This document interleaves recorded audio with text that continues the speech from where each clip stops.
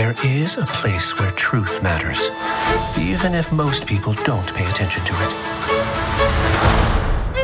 Our organization is always searching for those who appreciate the truth. If any child is caught cheating, they will be executed.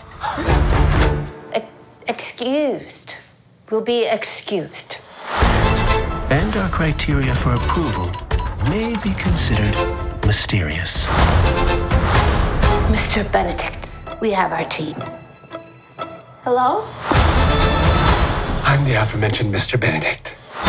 You all possess a quality that is lacking in our society. Reynie, your intuitive understanding of human nature. Sticky, your reservoir of knowledge. Constance, your defiance of conventional thought patterns. Kate, your uncanny feel for how things go together.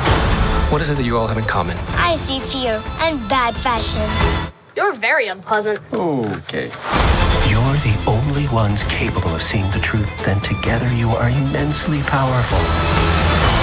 We're asking you to go on a mission that can only be accomplished by children.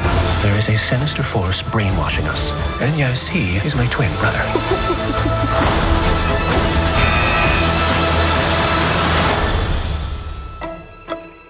So, you need a bunch of smart orphans to do a deadly mission.